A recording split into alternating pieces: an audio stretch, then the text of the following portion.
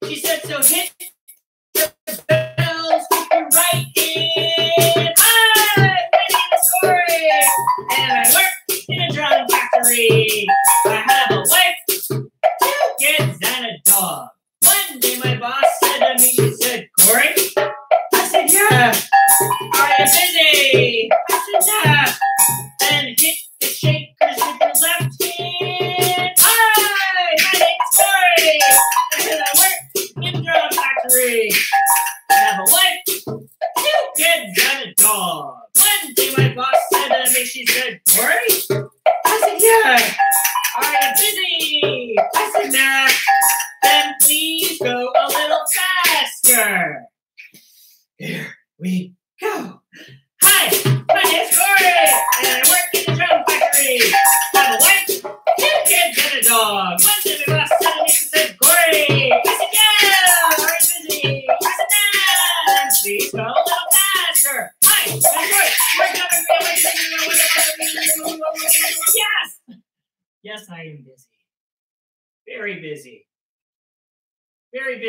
Days, taking care of those two kids, not the dog.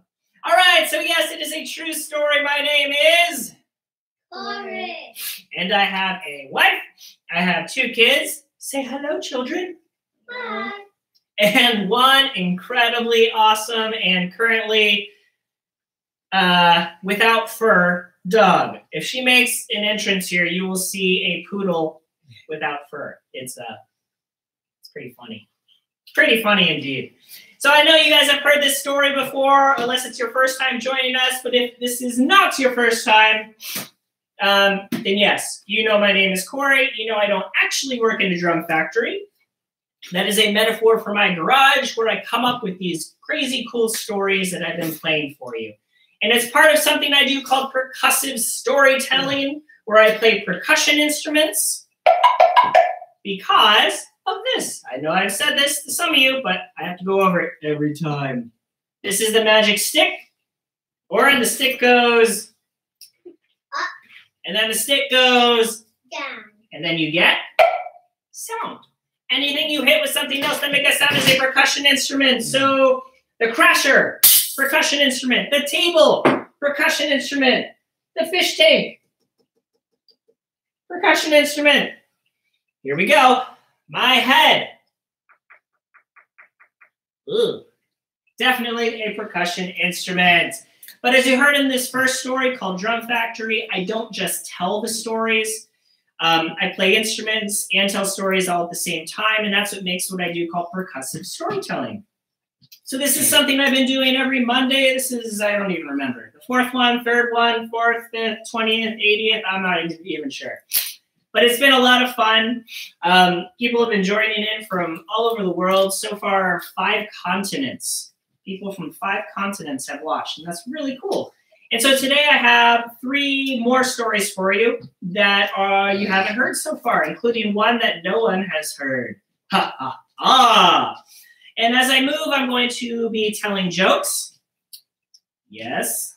And I'll be teaching you some more about the instruments because uh, I've had a lot of requests and a lot of things about uh, just where do you get the instruments? What are the instruments?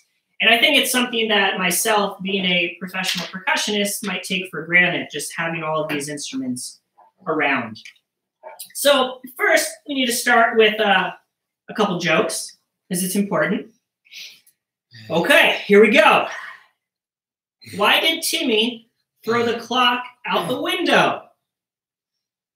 Say why. Why? He wanted to see if time could fly. Wah, wah. Okay. Uh, here's more of a riddle. What gets wet while it dries? Ooh. Zoe, do you know this one? Mm, You're right. A towel? Very good. And I'll leave you with one more before going on here. Uh, why did the bed wear a disguise? It was undercover. Oh, good stuff. Good stuff. All right. So I'm going to move on to this next story. But before I do that, I'm going to announce the winners last week of the arts competition. So I've been having these different competitions. The first week was the Tiki Tiki Tembo Challenge. Last week was create a piece of work uh, or a work of art about the lost bicycle. And I had a, a, some really cool entries. In fact, if you look on that YouTube link, the cover of that is a recycled bicycle that was made uh, from uh, Zach and Isabel in Maryland. And they were also the ones who did that six and a half minute version of Tiki Tiki Tembo. So they are crushing it in Maryland. Oh, yeah. Um, but also, I had another winner from Tennessee, the great state of Tennessee. We had Zach and Gideon. Woo! Everybody cheer? No, no cheer. Everyone's cheering while eating an apple. Yes, Zach and Gideon, you guys win a CD of your choice or book of your choice. So way to go. And now I'm going to move on to this next story. Um, this one is a pretty new one for me. I wrote it this last year and have performed it only a handful of times. It is called It Could Always Be Worse. Oh, yeah. Um, this story is an old Yiddish folk tale and brief history lesson there. So it's kind of from Eastern Europe. Uh, and the story sets this farmer, poor farmer, and this rabbi. And in the sense that the rabbi, if you guys know what a rabbi is, it's traditionally a leader of a Jewish synagogue or the Jewish religion. But in this story, the rabbi is more like the mayor of the town. Think of it that way. So um, if you go to an elementary school, the mayor of your school would be the principal. So Principal Rickard, if you're watching, you're now the mayor. Congratulations. Uh, and in this story, this farmer discovers that things could always be worse. So I hope you enjoy. Long, long ago, a poor farmer lived with his wife, six children, and dog in a small one room hut. The hut was so small that the farmer and his wife often argued. The children fought, and the dog cried. When the farmer could take it no longer, he raced to the rabbi for help. Rabbi, he said, life in my hut couldn't be worse. Me, my wife, six children, and dog are too cramped with all the yelling, fighting, and crying. I can't hear myself think. Please help. Well, the rabbi listened and thought, and then she said, Tell me, dear farmer, do you have any chickens? Why, yes, said the farmer. I have chickens, a rooster, and a goose. Great, said the rabbi. Go home and bring the chickens, rooster, and goose into your hut to live with you, your wife, six children, and dog. Well, the farmer was a bit surprised, but said, Yes, Rabbi. And he sprinted home to bring the chickens, rooster, and goose into the hut to live.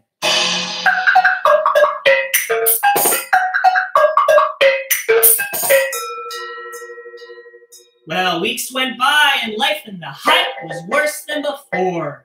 Now, with the yelling, fighting, and crying, there was clucking, crowing, and honking. When the farmer could take it no longer, he raced back to the rabbi for help. Rabbi, he cried, life in my hut couldn't be worse. Now with the yelling, fighting, crying, there's clucking, crowing, and honking. Please help. Well, the rabbi listened and thought, and then she said, Tell me, dear farmer, do you have any goats? Well, I guess I do, said the farmer. I have one goat. Perfect, said the rabbi. Go home and bring the goat into the hut to live with you, your wife, six children, dog, chicken, rooster, and goose. The farmer was very confused but said, Yes, Rabbi. And he ran home to bring the goat into the hut to live.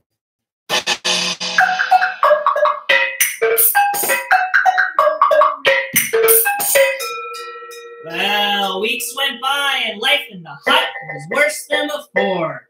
Now with the yelling, fighting, crying, clucking, crowing, and honking, there was a goat with huge horns knocking everything on the ground. When the farmer could take it no longer, he raced back to the rabbi for help. Rabbi, he yelled, life in my hut couldn't be worse. Now with the yelling, fighting, crying, clucking, crowing, and honking, there is a goat with huge horns knocking everything on the ground. Please help. Well, the rabbi listened and thought, and then she said, Tell me, dear farmer, do you have any cows? Why, yes, I do, said the farmer. I have one very large cow. Excellent, said the rabbi. Go home and bring the cow into the hut to live with you, your wife, six children, dog, chicken, rooster, goose, and goat. Well, the farmer was completely bewildered, but said, Yes, Rabbi. And he walked home to bring the cow into the hut to live.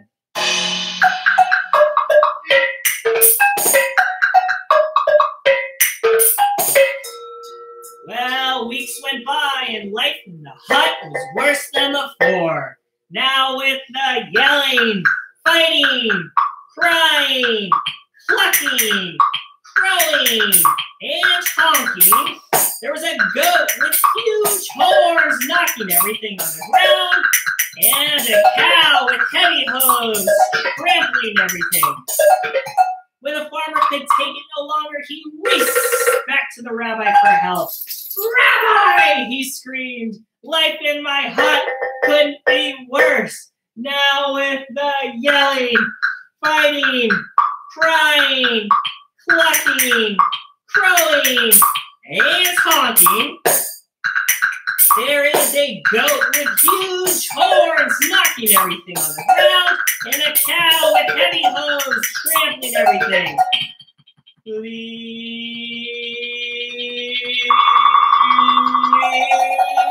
How?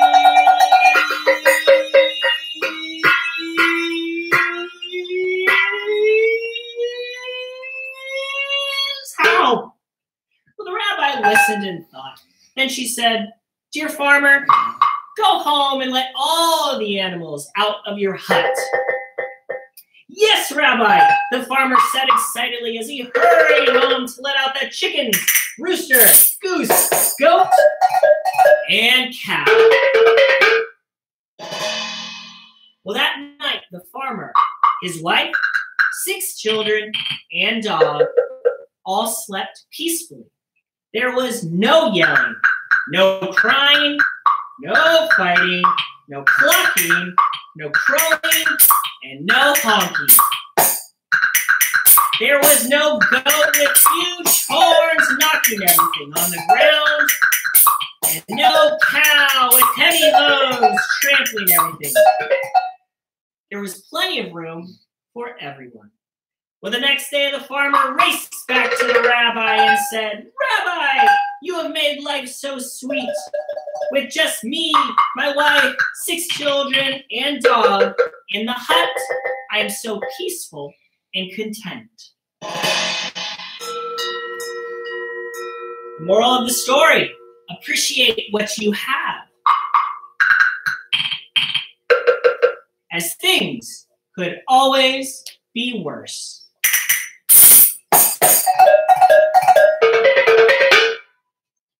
The end. There you go. That is, it could always be worse. A funny story. It's been around for a long time. A lot of great versions out there. That's kind of my spin on this old classic. Um, see some text messages coming in, and what I'd love for you guys to do is please send questions. There's an email there, there's a phone number there, and if you want some shout outs, like I can just shout out your name, like Zoe. See, I just did it. That's a shout out. Or I can say Marcello. Hi, Marcello. Hi, Georgia. Hi, Amelia, and it's Amelia. I don't want, I don't want Nana or Carla's mom to get mad at me. That's grandma, not my grandma. I said Emilia once and I got in trouble. Um, Amelia, hi Marcello. I think you're doing a crazy dance. I saw you in a talent show and it was awesome. Great job, buddy. Um, so let's see here. I want to go over these instruments and then I'll take a couple questions and we'll go from there. So some of these instruments might look familiar. So we have a lot of blocks of wood. And I really like to use these because they all have different pitches. So a lot of people say that percussion is unpitched, meaning it's not like a saxophone or a clarinet or a piano or a violin or a singing voice where you can hear those beautiful notes, right? And I disagree with that because I find that all of these instruments have a pitch. It's just how you decide to arrange them. So if you listen to my wood instruments, you'll hear that there are definitely pitches. Da, da, da, da, da, da, da, da.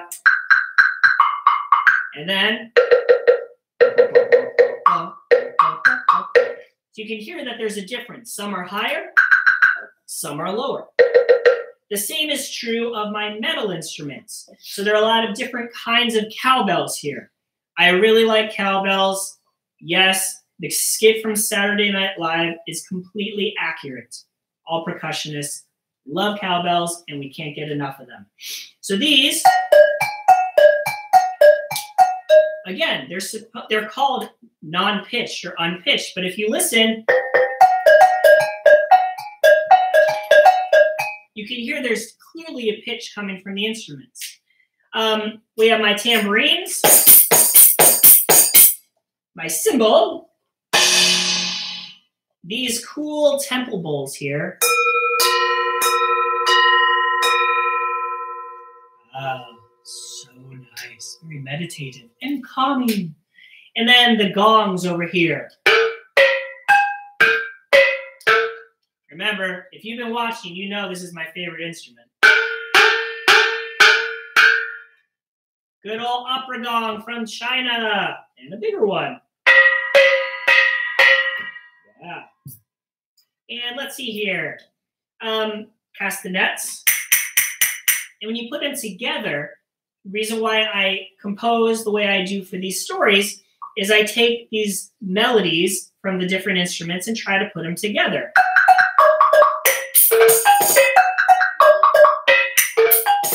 So that you can hear a little bit of a melodic um, effect, even though these are non-pitched. So I will stop there on describing these instruments. Um, and see if there are any questions. Please go ahead and send your questions in. I mean it. If you have one, wow, my email's there. Um, and while you do that, I'm going to tell a couple more jokes. Or you want to hear some jokes? You're listening? Oh, here are my jokes. Okay. Why did the baseball player go to jail? Why? Why? Thanks, Zoe. He stole second base.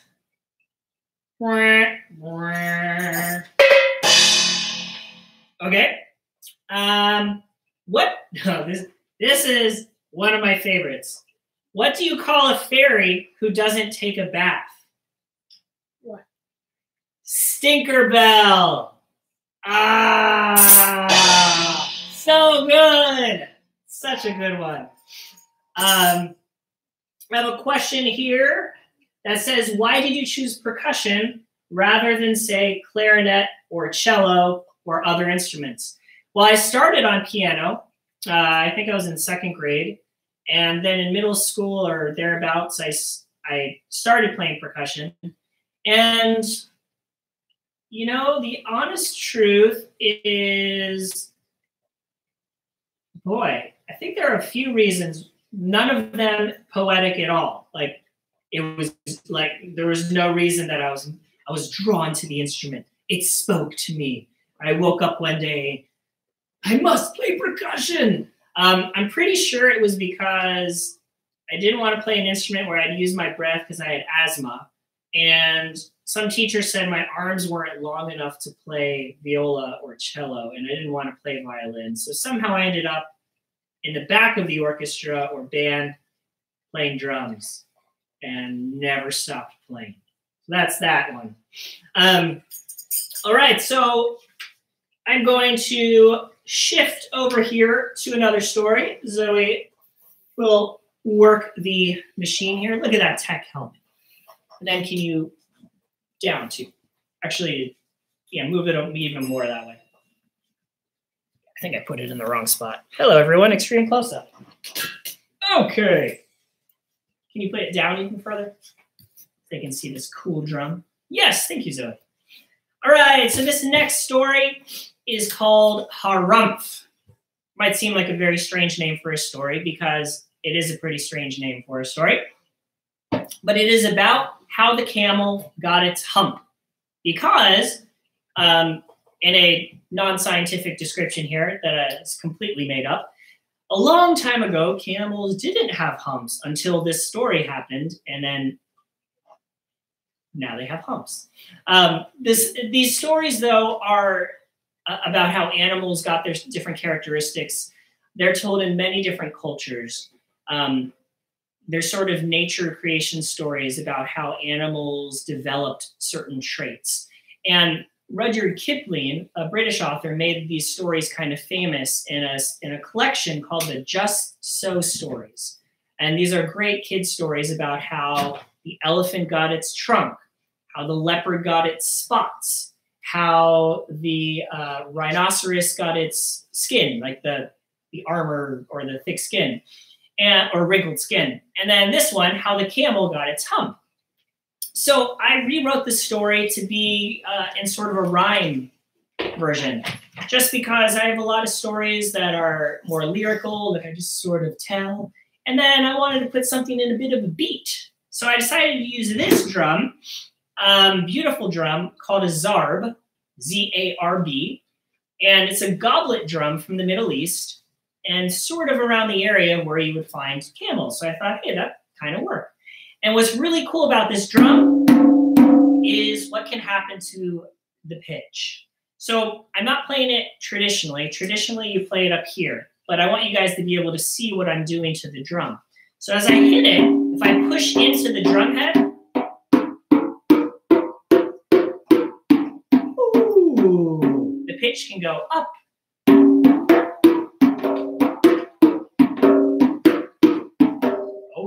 it's a cool drum. Um, and so I thought I'd use this drum to tell the silly story about how the camel got its hump.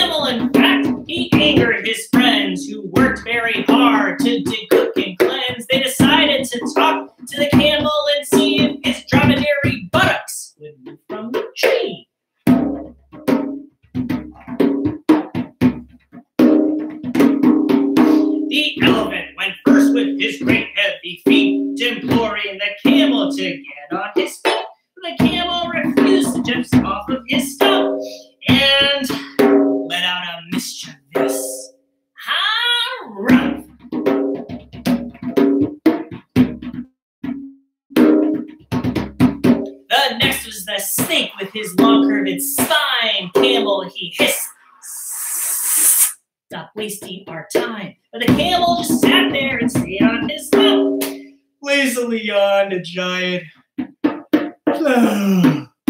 Uh, uh,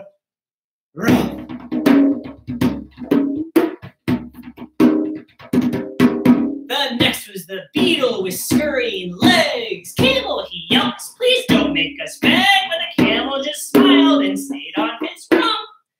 Humming a melody. Hurrumph, hurrumph, hurrumph, hurrumph.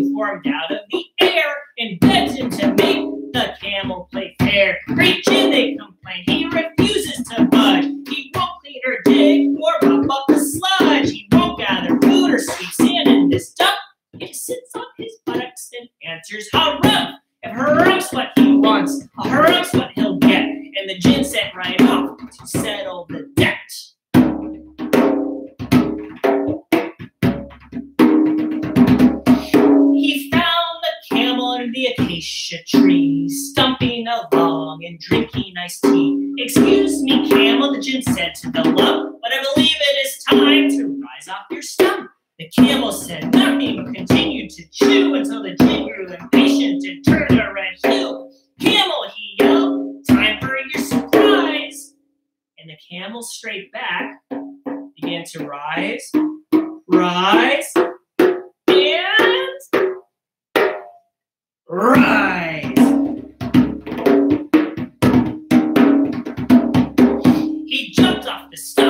Just as he rose, the stump disappeared right under his toes. Startled and scared, the camel yelled, Hump! And just like that, he had his own hump. The Djinn said, Now, camel, this hump is for you to catch up on work you're too lazy to do. You see, my friend, this hump's filled with water. You can work for three days in the desert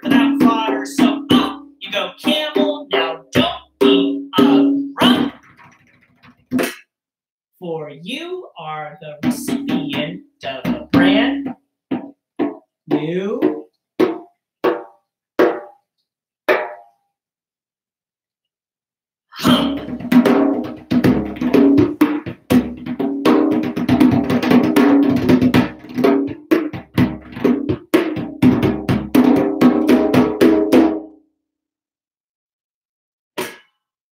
There you go.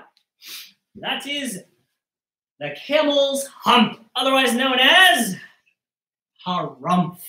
Just lift that up a little bit, Zoe. Thank you. I'm Gonna get my iPad, see if I have any questions here. All right.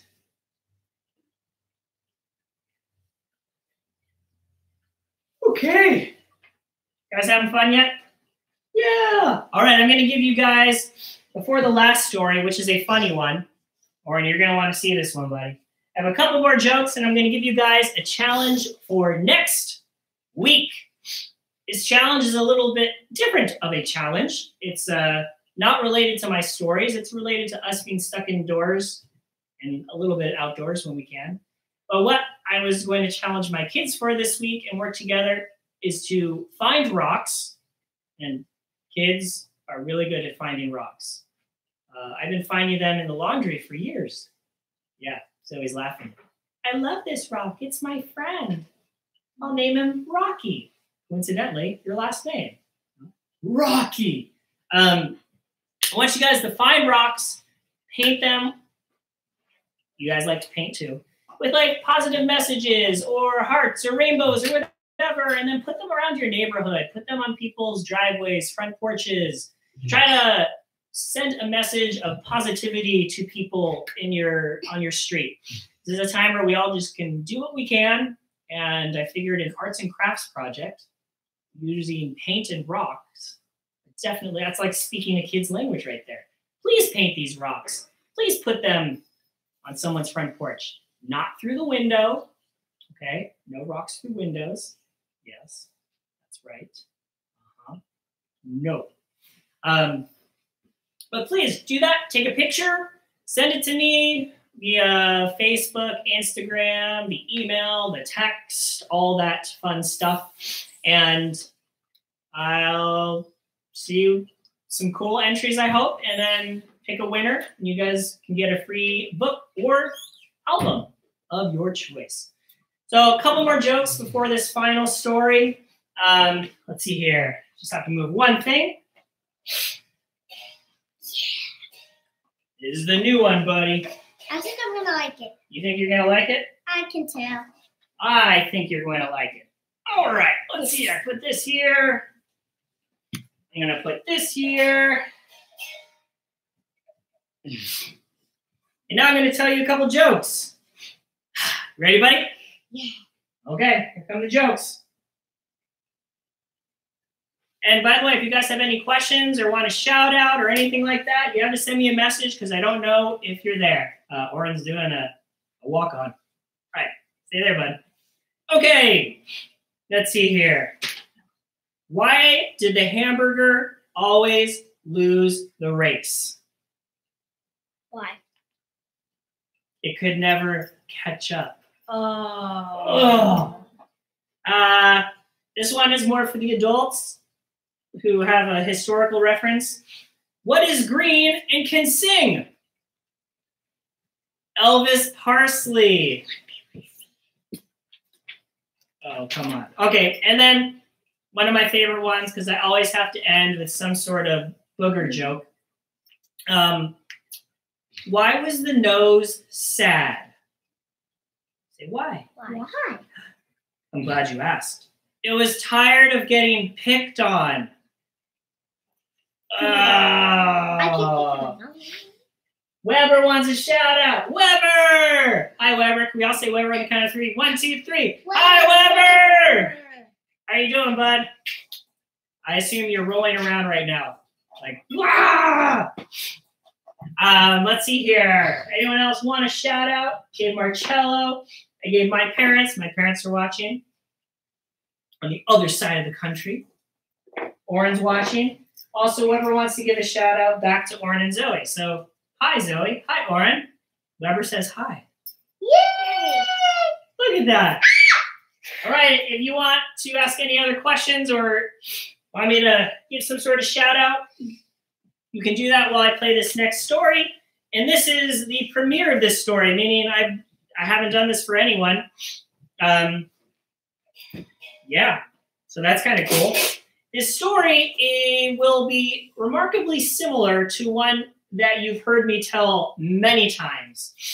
Tiki Tiki Tembo. Now, in Tiki Tiki Tembo, the whole point of the story or, or plot of the story is that boy falls into the well because his name is too Mom. long. Correct. His name is too long. So because his name is too long, he gets trapped in this or he falls in this well and it's it takes a long time for them to get him out. Well, this story, Tiki Tiki Tembo, is an old Chinese folk tale that's been around for um, close to uh, 2,000 years or so. But there's another version that I found in the United States of America. Um, we have a very rich history of folk music in this country, specifically from the Appalachian area. If you know where the Appalachian Trail is, between like Tennessee all the way up to West Virginia, the mountain, or the, yeah, you can look on the map for that. And this version of Tiki Tiki Tembo found its way there and was was kind of changed and amended to be Eddie Kuchikacha. Okay, Eddie. So the story I'm calling it Eddie. The name is Eddie Kuchikacha Kama Toasted Toasted Noka Samakama Wacky Brown. Okay, so we had Tiki Tiki Tembo, No Nosa Rimbo, Charibari Richie, Pickberry Pimbo, and now we have Eddie Kuchikacha Kama Toasted Nana Toasted Noka Samakama Wacky Brown. So apparently, I really like long names and wells. As this story involves the same thing, where Eddie falls into the well, so people have to help him out. And this is just my funny version of telling this quick and hilarious story. So this is the first time I've done it. I told you before last time when I did Peacock, which was the first time I had ever done that story, that I typically practice these stories close to 100 times before playing them in public. And I don't consider this public, sort of. But at any rate, um, I might mess it up. You never know. This will be good for me. And so, what I really need, just like people did for Peacock, is send me ideas for this story or things that maybe worked or didn't work, and I can change it from there. So, here's a little story about a boy named Eddie Kuchikacha Kama Tosta Nana Tosta Noka Sama Kama Wacky Brown. Who? Eddie Kuchikacha Kama Tosta Nana Tosta Noka Sama Kama Wacky Brown. Who fell into the well, fell into the well, fell into the deep dark well. Susie Jones, milking in the barn, saw him fall and ran to tell her ma that Eddie Kuchikacha Kama Tosta Nana Tosta Noka Sama Kama Wacky Brown. Who? Eddie Kuchikacha Kama Tosta Nana Tosta Noka Sama Kama